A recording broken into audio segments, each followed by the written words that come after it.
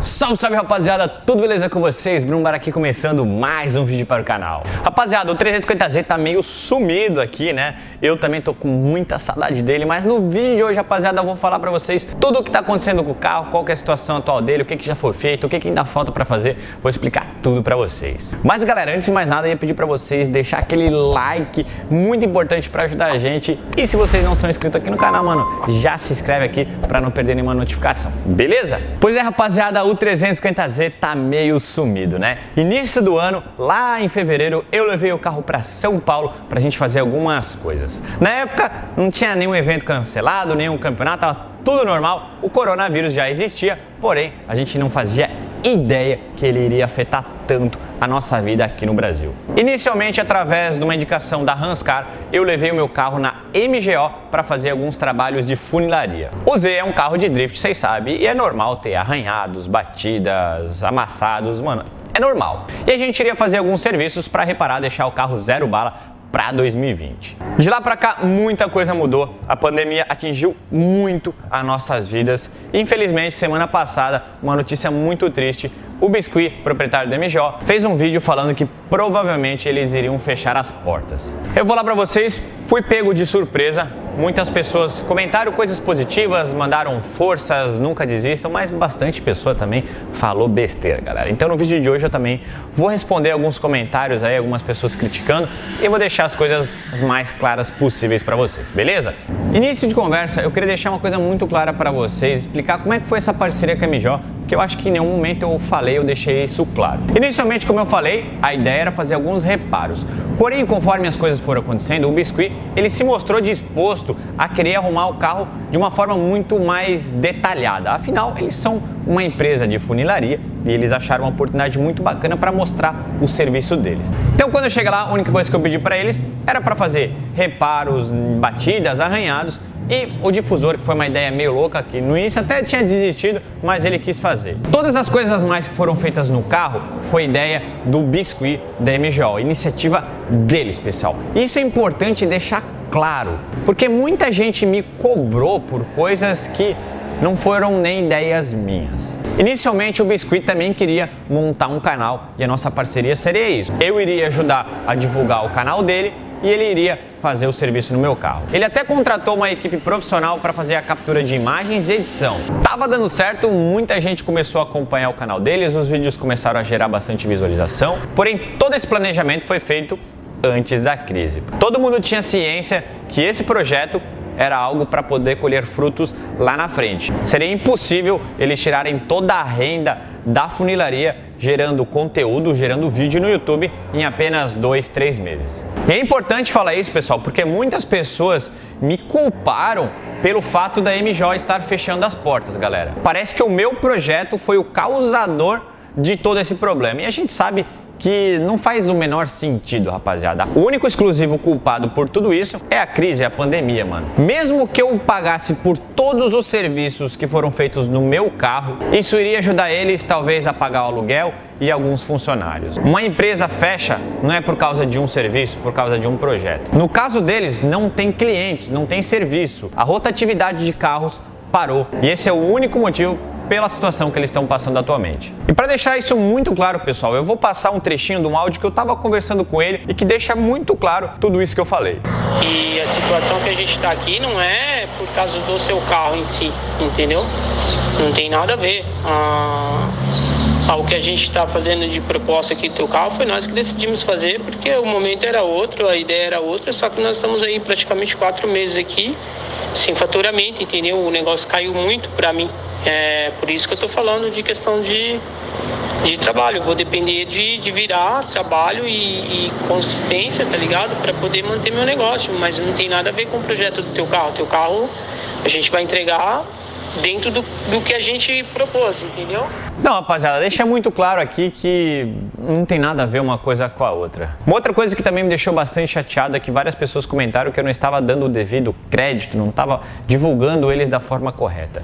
Eu não sei se essa galera mora em outro planeta, que eles não estão cientes de tudo o que está acontecendo, mas vocês acham realmente que eu não gostaria de estar em São Paulo gravando um monte de vídeo, mostrando detalhes dos carros para vocês? É, é uma coisa que não faz sentido, pessoal. O próprio próprio biscuit foi contaminado com o coronavírus. Às vezes a galera acha que é tudo uma brincadeira, mas é muito real o que está acontecendo. A gente tinha até planejado fazer uma festa de lançamento, um encontro de inscritos para a gente é, é, mostrar o carro para vocês, mostrar o resultado. Tava tudo planejado até tudo isso acontecer. Então, por favor, pessoal, não falem que eu não estou dando a devida atenção, porque dentro do possível, dentro das condições que eu consigo fazer, eu estou divulgando o trabalho deles. Mas é isso aí, pessoal. Só um desabafo, porque muitas vezes as pessoas elas acabam escrevendo no anonimato. Para elas pouco importa o que elas estão escrevendo, mas isso muitas vezes machuca a gente, pessoal. Eu vejo muita gente colocando comentários negativos. E sério, isso dói pra gente, pessoal. Então, se um dia vocês forem fazer uma crítica, algum comentário negativo, pensem duas vezes antes de fazer, pessoal. Se coloquem primeiro no nosso lugar. Pessoal, mas vamos lá. Chega de reclamar, chega de desabafar. Vamos mostrar coisas boas. Rapaziada, tá andando de drift aqui, mano. Então, por isso essa barulheira. Vamos seguir com o vídeo aqui. Eu pedi pro Biscuit gravar uns takezinhos do carro, como que tá o andamento, o que que falta. Então, vocês vão ver agora em primeira mão como que tá o carro e tem uma surpresinha, mano. Fiquem ligados aí. Se vocês descobrirem qual é a surpresa, ó, deixa nos comentários, beleza? Então, bora pro vídeo, rapaziada, que tá sensacional. Começando com essa frente maravilhosa que o Biscuit ele cortou o para-choque no meio, galera. Vocês estão ligados? Ele aumentou essa bocona, ficou muito legal, muito mais agressivo e ele conseguiu melhorar ainda o kit da Rocket Bunny, galera. Ficou muito bacana mesmo. Ali no capô, alguns detalhes que a gente fez, a gente recortou, mas ainda tem que fazer o recorte na chapa de baixo. Aí vocês estão vendo aí a porta, já tudo bonitinho. A parte traseira do carro está praticamente pronta já. O paralama traseiro, a porta, é, o teto, tá tudo já pronto, galera. Aí na parte de trás, alguns detalhes também. É, as linhas de expressões, né, que o, o Biscuit refez toda. Para-choque traseiro também foi todo reformado. E esse é o difusor que eu falei para vocês, o difusor que, que, é uma ideia minha aí, meio complicada. Eu queria desistir, o Biscuit, não, vamos fazer. Ele fez, tá aí. Vamos ver se colocado no lugar vai ficar bacana, mano. Foi tudo feito em fibra de vidro, é, meio complicado. Acho que o resultado final vai ficar legal. Aí a traseira, falta colocar a lanterna, fixar né, o para-choque no lugar. É detalhes que está faltando no carro realmente agora, pessoal. Paralama dianteiro também, vocês podem ver a quantidade de massa, foi muita coisa lixada, muita coisa refeita para ficar bem encaixado, bem alinhado, os vincos bem definidos. Do outro lado também vocês podem ver que a porta já está pronta, a paralama traseira está pronta e tem aí a surpresinha aí para quem viu, né? Uma coisa diferente que não tinha no meu carro. Eu acabei instalando. Eu acho que vai dar um visual diferente pro carro. Aí a frente dele, bonitona, mano. Parece que tá com o ladinho assim, né? Mano, tá muito legal esse carro. Lembrando também que ele tá com a suspensão levantada. É, a roda traseira aí não é a roda da Low Burn, é uma ro outra roda que eu tenho. Então o carro ainda vai ficar mais agressivo, mais bonito. E se vocês não perceberam ainda, no vidro traseiro a gente colocou um louver, foi feito pelo Hashimoto em fibra de vidro, ficou bem legal. Eles já instalaram no lugar, era para ser uma surpresa, mas eles já fizeram, né? Então, mano, já vocês estão vendo aí exclusividade de primeira mão. Vai dar um ar bem bacana. Falta o aerofólio ainda, né, mano? O carro tem que ter o aerofólio, o carro de drift tem que ter o aerofólio para ficar completo, mano. Os vincos aí bem definidos do paralama traseiro, mano. Ficou muito bonito o trabalho que o Biscuit fez. Sensacional, rapaziada. Olha só agora também, parte traseira do carro. Tá incrível, mano. Tá incrível o trabalho que eles fizeram. É sensacional, sem palavras.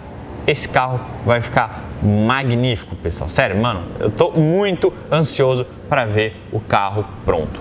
Depois de ver todo esse trabalho magnífico que foi feito no carro, vocês devem estar pensando a mesma coisa que eu, né? Que pena que a MJO vai fechar as portas, galera. Existe uma forma da gente ajudar eles. Primeiro, compartilhar o máximo possível esse vídeo. Ir lá no canal dele, se inscrever, compartilhar o vídeo dele, deixar o like, comentar, mandar uma mensagem de força. Cada um de vocês que ajudar dessa forma, mano, com certeza vai fazer uma diferença para eles. Então peço muita ajuda de vocês. Vão lá no canal dele, se inscrevam, comente, mano.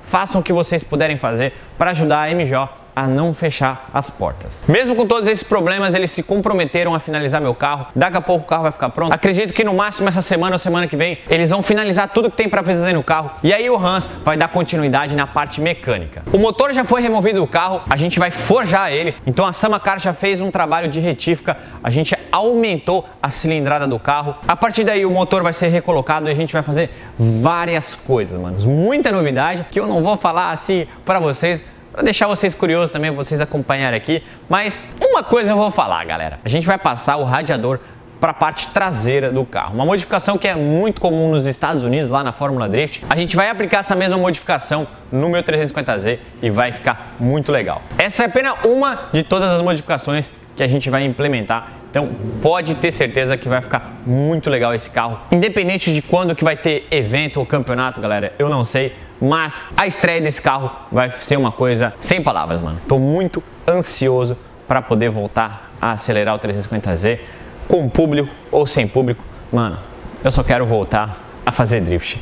Essa é a verdade. Eu tô com muita saudade e acredito que vocês também estão com muita saudade de me ver acelerando. Mas é isso aí, rapaziada. Espero que vocês tenham gostado de como tá ficando o carro. Mais novidade, vou estar tá trazendo aqui para vocês. Beleza? Não se esqueça também de deixar aquele like no vídeo, mano, se inscrever aqui para acompanhar tudo que vai ser feito no 350Z de Drift. Então é isso, rapaziada. Vou deixando o vídeo por aqui. Espero que vocês tenham gostado.